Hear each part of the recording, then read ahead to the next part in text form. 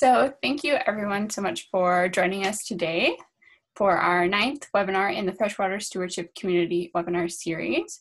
We're very excited to have Mary Ann here today to talk a bit about the importance of plant life to dragonflies and damselflies.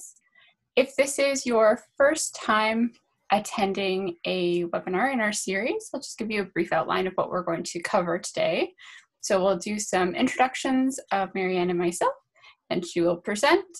Like I said, there will be a designated question answer period at the end, and we'll also talk about some resources that will become available after this presentation. So the two people with you today are uh, Dr. Mary Ann Perron and myself. So if you have any kind of technical problems, you have any questions about Watersheds Canada, you can always direct them to me either in a private message through Zoom or you can send me an email. And I am uh, the communications and fundraising coordinator at Watersheds Canada. And of course, during the Q&A, if you have specific questions about what you hear during the presentation, you can direct those to Dr. Perron and that can happen through just a general Q&A or through a specific email to her after the webinar. So about the freshwater stewardship community, uh, we launched at the beginning of this year and it already has over 900 members across Canada and different countries, which has been a really wonderful way for us to connect with everyone during different restrictions and uh, closures. We've still been able to stay connected and bring you different resources and webinars throughout the year. So this is our ninth webinar. And most of the webinars also have accompanying handouts and education resources, which are on our website. It's watersheds.ca slash freshwater hyphen stewardship. And we would just like to thank the SM Blair Family Foundation for funding the freshwater stewardship community. If you are unfamiliar with Watersheds Canada, we are a national nonprofit and charitable organization based in Perth, Ontario, just about an hour from Ottawa. Our focus is really working with individuals and community group members to protect their freshwater. So this is their lakes, rivers, shorelines, and all of the different wildlife habitat around those areas. Uh, the one program that I did want to specifically mention today, as it ties in with the topic for the presentation, is our Natural Edge program. So this is our shoreline renaturalization program. It has just launched across Canada, so we are officially in four provinces, British Columbia, Saskatchewan, Ontario, and New Brunswick.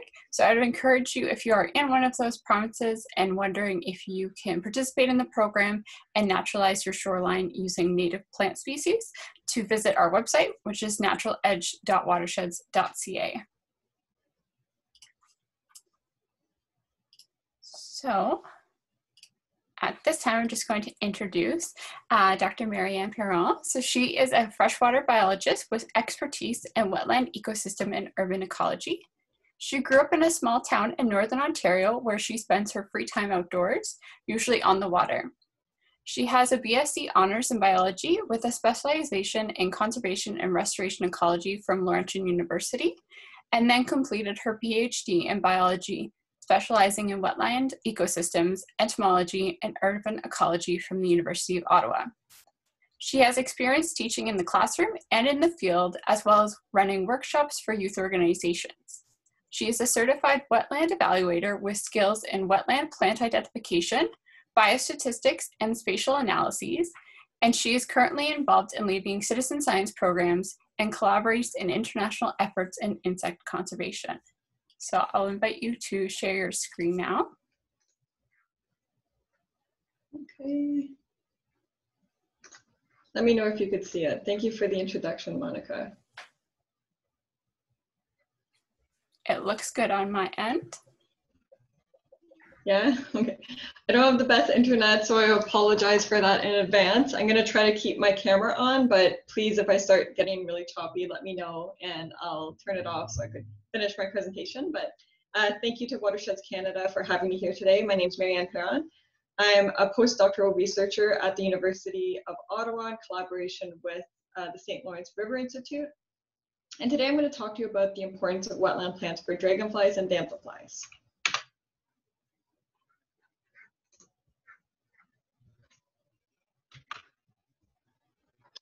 So plants and animals have evolved together for millions of years, and as a result, the knowledge and understanding of plant-animal interactions has been a key element in biodiversity studies. In particular, plant-insect interactions is one of the most dominant biotic interactions that we see today.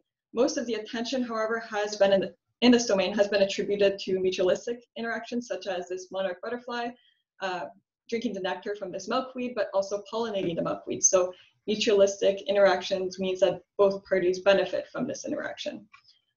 Or they have been focused on antagonistic interactions. So antagonistic interactions is when one party benefits at the at the expense of the other party. So this is an example of an antagonistic interaction. I took this photo in Alberta, and all these these red trees here, those are dead spruce due to the spruce budworm. So the spruce budworm is going to extract the resources from the tree, uh, damaging or even killing the tree in, uh, in consequence. But what about everyday interactions that are not mutualism or antagonism driven? These interactions are undoubtedly important and contribute to the great richness of species that we see on Earth today. One group of species that have been around for a very long time are odonata. So odonata are dragonflies and damselflies. Uh, their ancestors, the proto-odonata, have been around since the Carboniferous, Carboniferous period, 325 million years ago. Uh, there are a lot of similarities between the ancestors of Odonata and the modern day Odonata that we see today, although the ancestors of Odonata were much larger. So they had, uh, for example, Meganeura had a wingspan of 75 centimeters. So they were giant dragonflies back in the day, and they have evolved to the dragonflies that we see today. Although they're much smaller today, they still have a lot of the same uh, characteristics and traits that they did uh, back in the day. So just to give you a perspective of how ancient these insects really are, Proto-Odonata evolved 100 million years before dinosaurs did. So they've had a very long time to adapt to their environment. Uh, this is a fossil from 155 million years ago, so you could see the similarities between uh, Odonata throughout history and what we see today uh, as modern Odonata.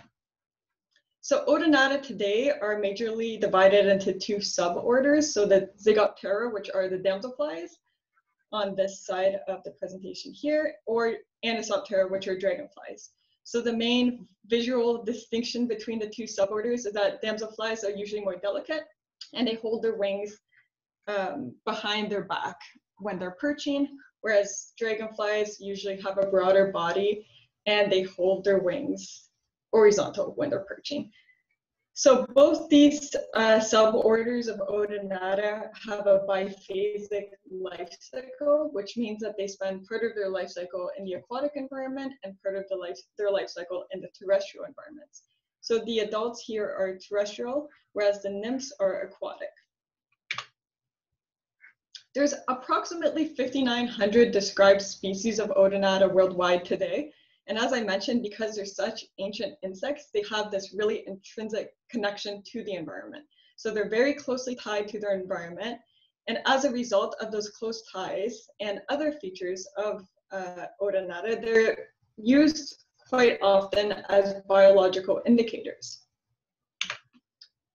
For those of you who don't know what a biological indicator is, uh, this is just a snippet that describes it well from a paper by Foote and Rice published in 2005.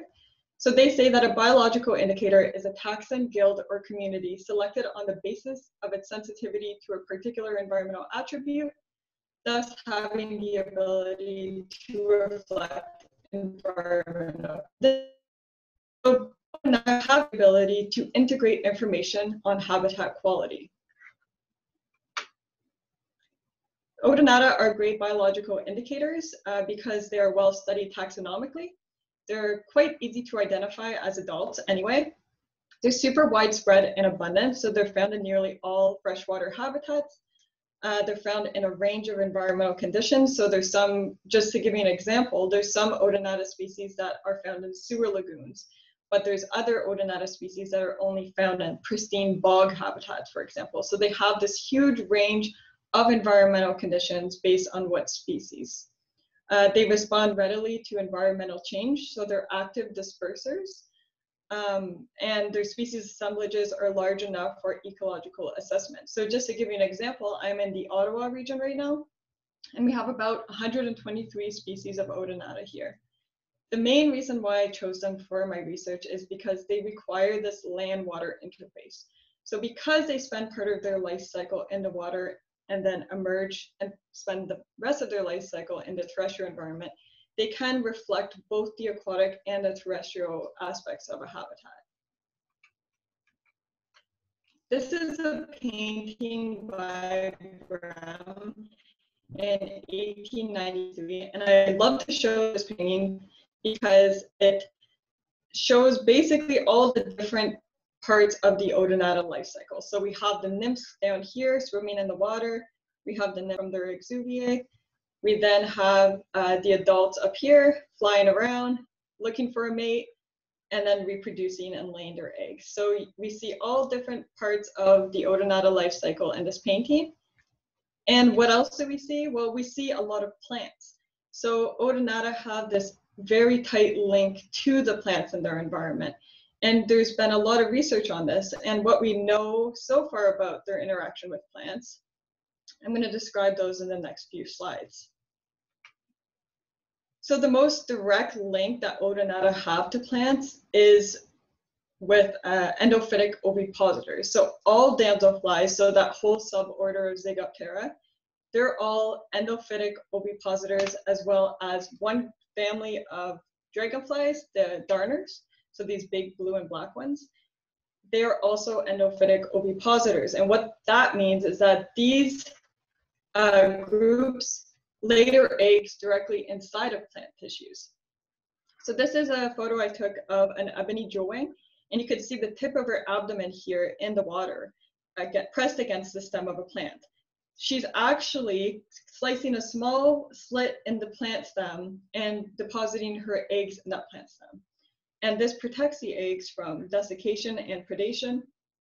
And this is one of the ancient structures, actually, that these groups of Odonata have retained from their ancient ancestors. So this is a figure uh, published by Petrulevičius et al and basic fossil records of Odonata. ovipositor that damselflies have, as well as the darners, is an ancient structure that they've kept from their ancestors. Other more indirect interactions that Odonata have with plants are emergent substrates. So almost all species of Odonata, apart from a few exceptions, need a vertical substrate to emerge from their nymphal life stage into their adult life stage. This is a photo of a dragon hunter that I took, and as you could see, he crawled up vegetation. You could see his legs clasping onto the plant stems, and you push himself out of his, his exuviae and emerge from. So all these dragonflies need these emergent plants and these substrates and structures to emerge into their adult life stage. Other aspects um, of odonata plant interactions would be the use of plants as perches for shelter and for thermoregulation. This is a photo here of an eastern amberwing, and you can see him perched on a plant. He's in the obelisk position, which is a position that dragonflies do when they need to reduce their thermal, their temper, basically their body temperatures. So they're gonna reduce the surface area of their body that's exposed to the sun. They're gonna put their, the tip of their abdomen towards the sun, uh, which will cool the body down. But they need these perches to do so. Other uh, interactions between Odonata and plants and their environment has to do with predator-prey relationships creating habitat complexity and habitat structure for Odonata. There's been many studies on nymphs and aquatic plants. So when there's aquatic plants present in an environment, actually reduces the amount of uh, predation on Odonata nymphs. So when you have more plants present, it increases habitat complexity and you get better survival of Odonata nymphs. So we know that odonata are linked to plants. But how can this translate into our man-made features and these constructed aquatic water bodies that we're creating around cities? So my research sort of focuses on how can we improve man-made features to support odonata populations. And my study systems are stormwater management ponds. So for those of you who aren't familiar with stormwater management ponds, they're constructed engineered pond systems created in cities and they're used to collect stormwater runoff. So because cities have so much pavement, water does not permeate through that pavement. So it basically just sits on the surface and it increases the risk and severity of flooding in cities. So it's actually mandatory in Ontario now to construct these stormwater management ponds to collect all of this runoff to prevent flooding in cities and also uh, to improve the quality of surface water. So these ponds have the ability to settle out certain contaminants. So these systems are completely managed. Um, or we we manage these systems. So especially they're you know they have extreme water quality impairments at some of them. Uh, my research sort of focuses on some of that water quality stuff, but a lot of my research focuses on the plant communities present in these ponds. So the two objectives that I'm going to go through today uh, in this presentation for my study is, well, are stormwater ponds a good habitat for Odonata? Um, we're gonna first look at the differences in adult Odonata biodiversity between stormwater ponds and natural wetlands. So natural reference systems in the area, basically what we, the baseline conditions for biodiversity in these natural ecosystems we're going to try to compare them against these constructed ecosystems to see how they how they support biodiversity. The second objective is to assess whether odonata are influenced by plant communities at these stormwater ponds. So what I did, I studied 41 stormwater ponds across Ottawa, Ontario. So they are represented by these black circles here. And then I also uh, sampled 10 natural wetlands across the region as well just to get these baseline reference conditions of plant communities and odonata communities as well. I sampled, uh, did surveys for adult odonata throughout the summer, and I also did plant surveys. I'm not gonna get super into the methodology, but if you are interested, feel free to ask questions at the end. Uh, but basically identified all the adult dragonflies and damselflies at each pond and went back and identified all the plants at the ponds as well. So the first objective, what were the differences in adult Odonata biodiversity between stormwater ponds and natural ponds? So this graph here, basically, I'll walk you through uh, the graphs that I've added in this presentation, but on the x-axis here, we have urban pond age. So because they are stormwater ponds, they are constructed, we actually know how old each pond is. So if you see the five down here, that means that that pond was constructed five years ago. 10 means it was constructed 10 years ago and so forth. On this axis here, we have the number of species of Odonata per pond. So if you look at one of these points here, this point here means that in a pond that's two years old, we have 13 different Odonata species. And when we try to see if there's a relationship between the number of Odonata species and the age of the ponds, you can see that there is no clear relationship. So a pond that's two years old has the same number of Odonata species as a pond that's 36 years old, for example. So Odonata are very quick to colonize these systems. We do have some, a lot of variation here though. You see that there's some ponds that have only four species of Odonata, while there's others that have over 20 species of Odonata. So what is driving that variation? These are box plots here. So stormwater ponds are in gray and natural uh, wetlands are in green here. Dragonfly species richness is on uh, the y-axis and damselfly species richness is in this plot. So species richness just means the number of species. So this plot on your left is the number of dragonfly species per pond on average. basically the average is this dark black line here. And the sides of these plots is the variation. So between all of the stormwater ponds and all the natural ponds. So if we look at dragonfly species richness here, we see that on average, there are less dragonfly species in the stormwater ponds than there are in the natural ponds. But there's a big variation. So there's still some ponds that, are, that have two species of dragonflies, while others have 12 species of dragonflies, for example. So we have a big variation, but on average, we have less dragonfly species in the stormwater ponds compared to the natural ponds, and we see an opposing trend for damselflies. So we actually see more species, slightly more species of damselflies in the stormwater ponds compared to the natural ponds. When we look at abundance, so abundance, it's basically just the number, an estimation of the number of dragonflies found per pond. So dragonflies, again, is on your left here, and damselflies is on your right. And you can see here that on average, natural ponds have about over four times more dragonflies than stormwater ponds do. There is some variation in that with, you know, the best stormwater ponds having some of, you know, similar abundances of dragonflies to, you know, the lower uh, natural ponds. But on average, we have a lot less dragonflies in the stormwater ponds compared to the natural ponds, whereas damselflies uh, abundance doesn't really differ significantly. So we actually have the same number of damselflies in the stormwater ponds compared to the natural ponds.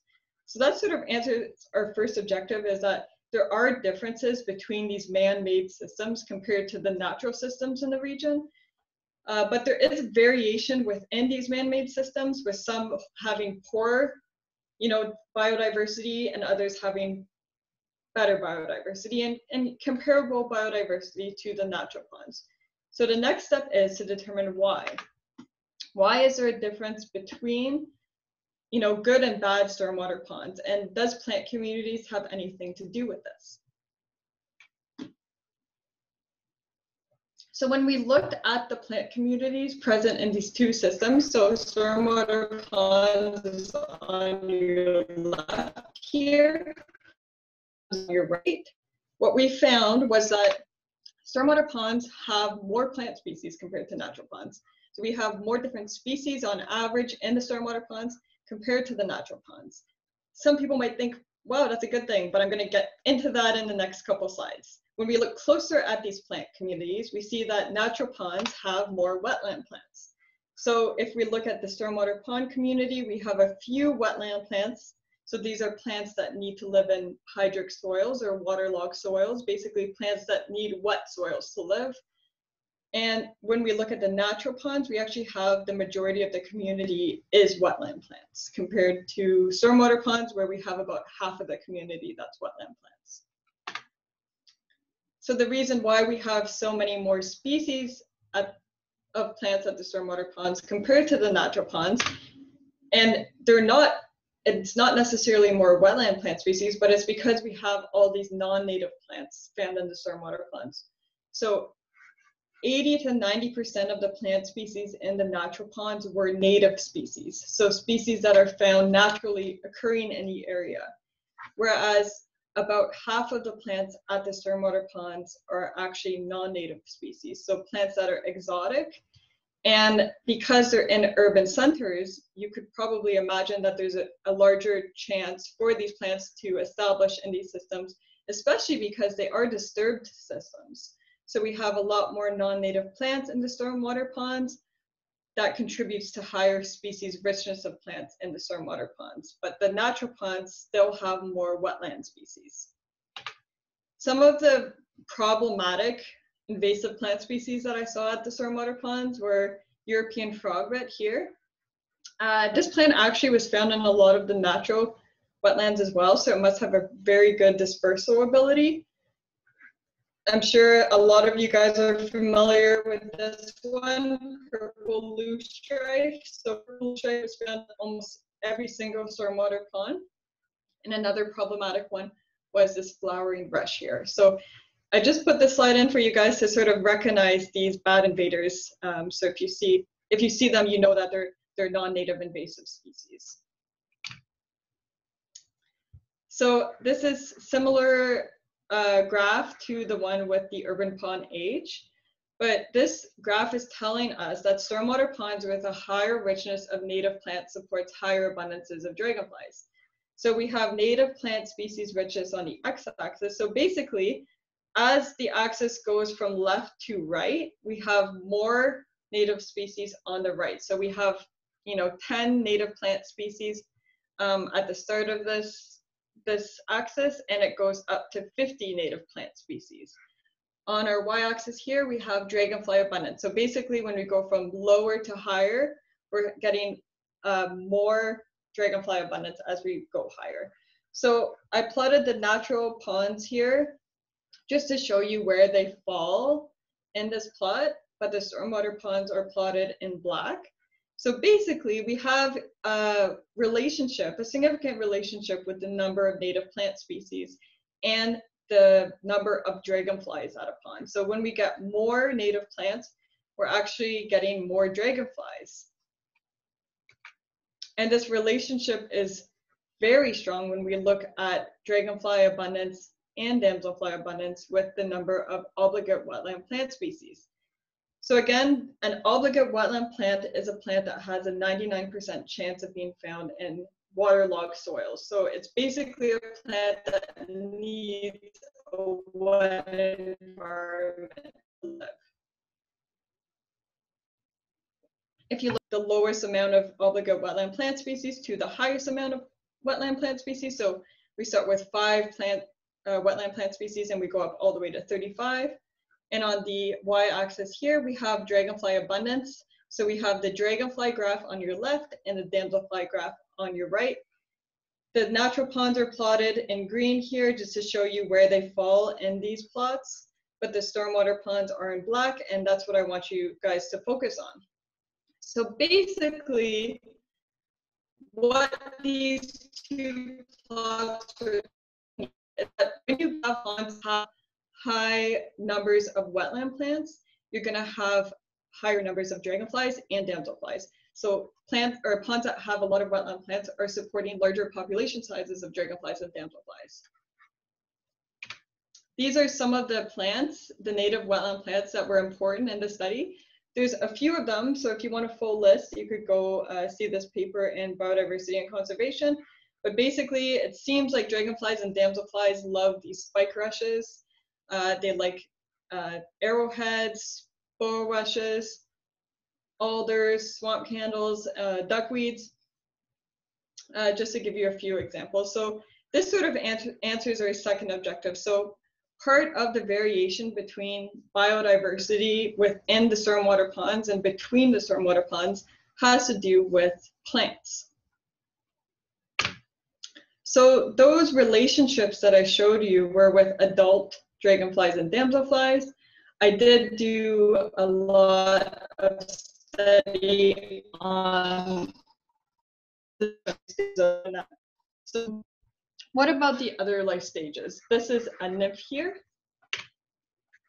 When I looked at the influence of plants um, in comparison to water quality and landscape features on the nymphs of dragonflies. So dragonflies again on your left here and damselfly nymphs on your right. Plants are always the most important feature. So basically the size of these circles here represents the amount of variation that these features explain on community structure of both dragonfly nymphs and damselfly nymphs. So plants are very important to dragonfly nymphs. Uh, water quality was also important to dragonfly nymphs and what really came out in this study was that road salts were actually uh, affecting the community structure or there was a relationship with basically if you when you had ponds that had a lot of salt in them you had less dragonflies as well. But plants did play a very large role in the community structure of dragonfly nymphs in these ponds.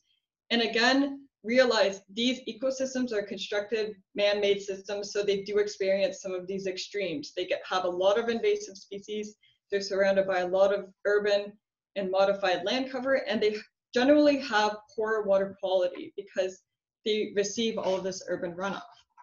When we look at damselflies, land cover had no effect on the community structure that was significant.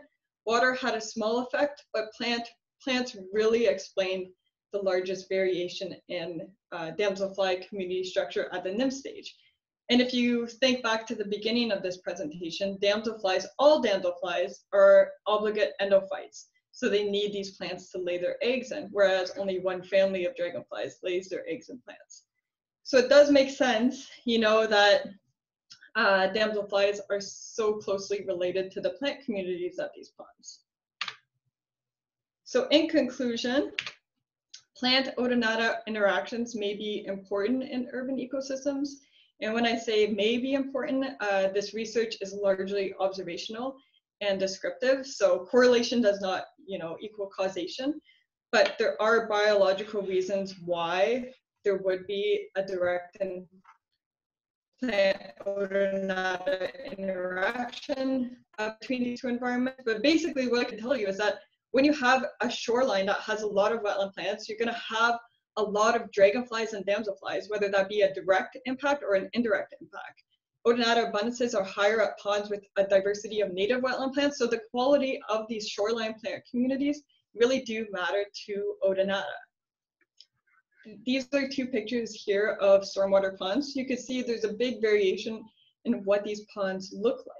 And these are designed and engineered systems. So, you know, certain uh, engineering firms are going to construct them in different ways. And just to zoom in on a closer look, this is not a good pond for dragonflies. It has no littoral zone.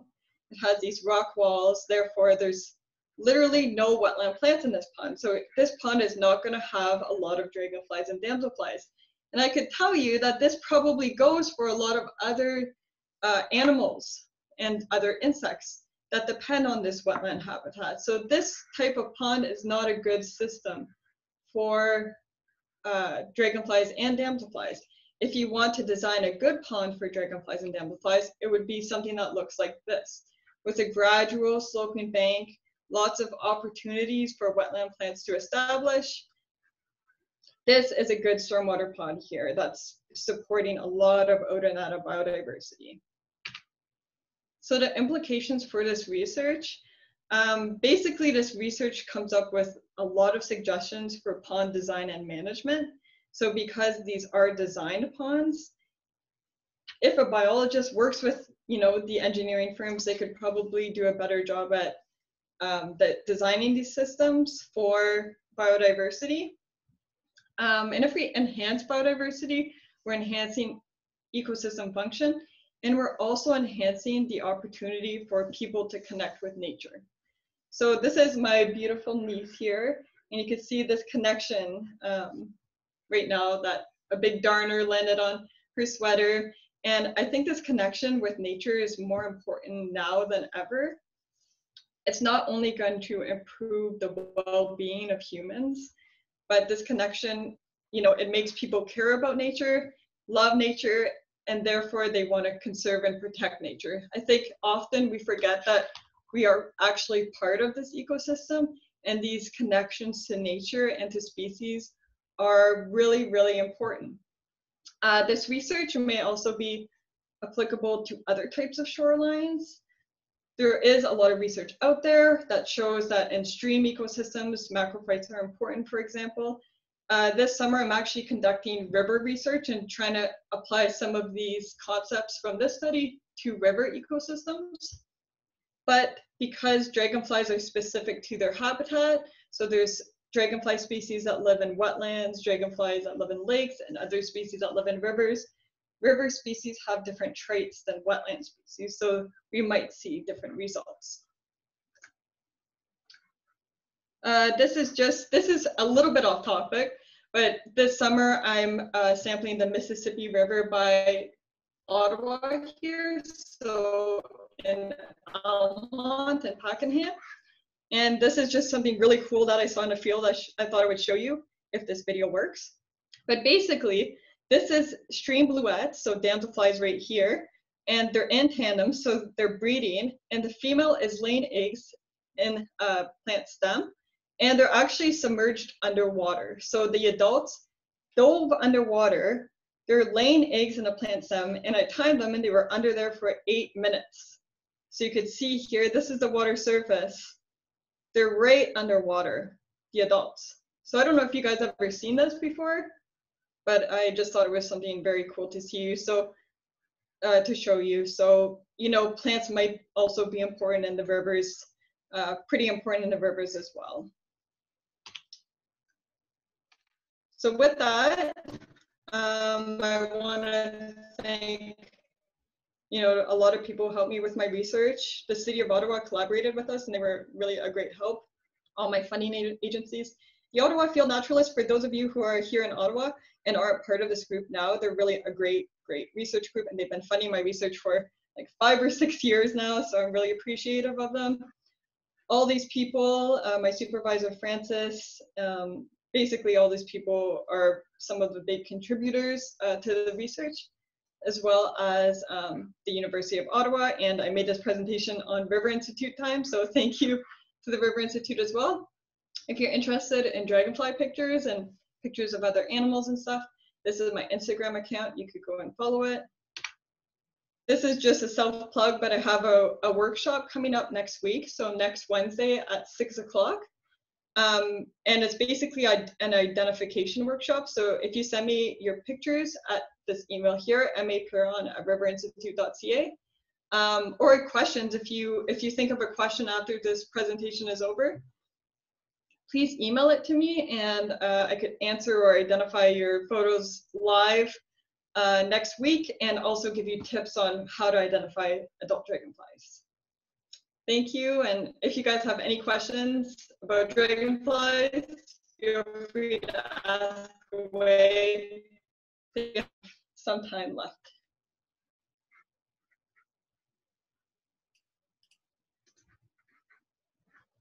Perfect. So I just popped in your email and Instagram account if people want to see all of your field adventures. Uh, it's always nice to see the different you. things that you find. And I've also dropped in our evaluation survey if people have a few minutes before they log off and they can just let us know what they thought of the webinar, if it covered what you expected. Um, that would be very helpful for us to report back to our funders. And so now we will go into the Q&A session. There is one in the chat from Rosalie, and she's wondering, um, areas used to seed them kind of into the wetlands, so she's wondering if it's still a practice that you know of. So when you say seed, what do you mean?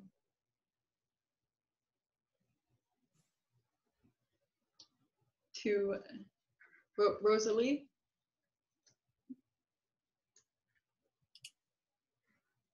Oh, introduced by air. Yeah. So I've heard a lot of people tell me that. Um, I don't know of any programs that actually introduce the dragonflies nowadays. Uh, so I think the best we could do is, you know, provide these natural shorelines. Like, don't mow to the bank. Leave that natural buffer, and it's not only going to help your dragonfly communities, it's going to help a load of other species as well. And we love dragonflies because they're beautiful, colorful, but they also eat so many mosquitoes. They, you know, provide that service to us. So I think it's important for us to to uh, try to see them, you know, try to create good habitats for them ourselves if you're a shoreline owner. Okay, I, I see another one here by Danielle. Is oding a popular naturalist outdoor activity in Canada? Are there any organizations or groups we should follow to get into odonatology? So it's definitely a, a activity that's gaining momentum. I think that in Canada there are a lot of uh, people who go oding. I think it's maybe a little bit more common in the States, but there's a lot of people here in Canada that are interested in oding, and a lot of birders are actually, you know, once they're done birding in the morning, they'll shift to dragonflies. I think it's uh, something that it's it's really fun and it's honestly not that hard to uh, learn the adults. The way I learned um, for the area, there's a really great field guide for you know Ottawa and anywhere around central Ontario, and even you know lots of species are in that field guide from southern Ontario as well. It's the guide from Colin Jones. It's the dragonflies and damselflies of Algonquin Park. I could send you that resource in the chat or or something in a bit, but basically the organizations and groups that you should follow if you really are interested. Uh, there's Dragonfly Societies of America. There's this amazing app called Odonata Central, where you, it's like iNaturalist, but just for dragonflies. So you could report your, your sightings on that app. There's also really good Facebook groups. So if you take a picture of a dragonfly and you don't know what it is, if you post it to a group called Northeast Odonata, so that's for our area, but there's groups, Facebook groups all over, you know, all over the world, and that will help you identify it as well. I hope that answered your question. Is there any other questions or comments?